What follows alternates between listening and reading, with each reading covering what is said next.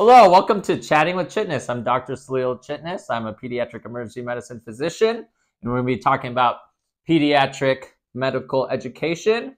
We got a very exciting video, so let's get chatting.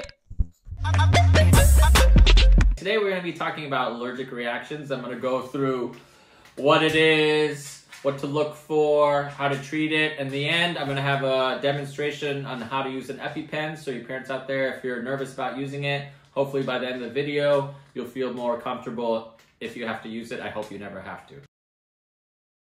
So let's first talk about what an allergic reaction is. So allergic reaction is basically when your own body is kind of doing something it shouldn't be doing, which means your immune system is attacking things that aren't really supposed to hurt us, but it thinks it is hurting us, so it attacks them.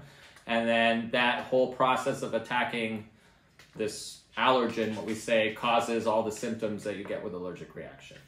That's why some people have them and some people don't, and some people are allergic to some things and other people are allergic to other things.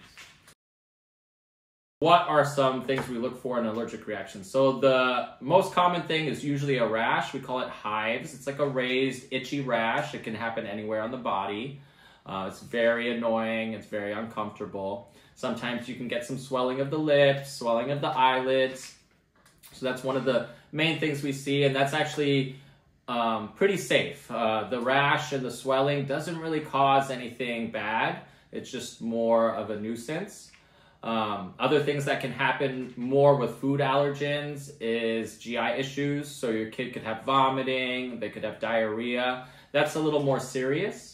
And then the most serious, of course, is if your child has any difficulty breathing. And this could happen from swelling of the tongue, which makes it hard to breathe, swelling of the throat, which makes it hard to breathe, or just swelling in the lungs, which makes it hard to breathe and they'll have wheezing. So that is the most dangerous of the allergic reactions. Um, there's a word that we use called anaphylaxis, and that means either your child is having difficulty breathing or they have vomiting, diarrhea, and the rash. So if your kid can't breathe or they're vomiting or they have diarrhea and they have a rash, then you need to go to the emergency department because that's a more severe allergic reaction that needs further management, especially with adrenaline.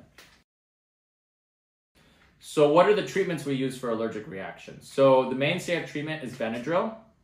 The dose is one milligram per kilogram uh, with a max of 50 milligrams every six hours. And that's kind of what you can use for those rashes and the fa facial swelling. Um, and you could get by with just that. Now, when you have those more severe allergic reactions that could maybe cause difficulty breathing or the vomiting or the diarrhea, that's really when we start to use steroids. But in order to use steroids, you really need to see a medical professional. Um, and then the hallmark of treatment if your kid cannot breathe is the EpiPen or the adrenaline pen.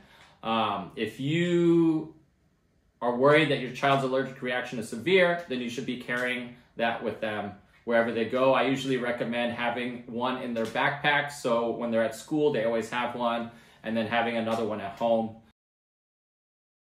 All right, parents, I'm going to show you how to use an EpiPen. So the way this works is the orange side has the needle, so don't hold it like this or you're going to get Epi in your thumb and then you could lose your thumb. The blue side is the safety cap, so as long as the safety cap's on, you can't activate the, um, the EpiPen um, for safety reasons. So if you have to use it and you only use it if your child is having difficulty breathing, you're going to remove uh, the safety cap and then you grab it like this and you're going to stab your child in the thigh on the side and hold for 10 seconds straight and then you can remove it. So I'll show you right now. So you just hold it, you stab it, and you hold it for 10 seconds. You can actually go through two pairs of jeans, no problem. You don't have to take the clothes off. After that, there's a safety mechanism so you can't get poked with it again. If you do use an EpiPen, you should take your child to the emergency department because this only lasts for a little bit. And if the allergic reaction comes back and you don't have another one, um, you're going to be stuck. So that's it for allergic reaction. I hope you enjoyed the video. Please leave any comments so we can chat about it next time on Chatting with Chitnis.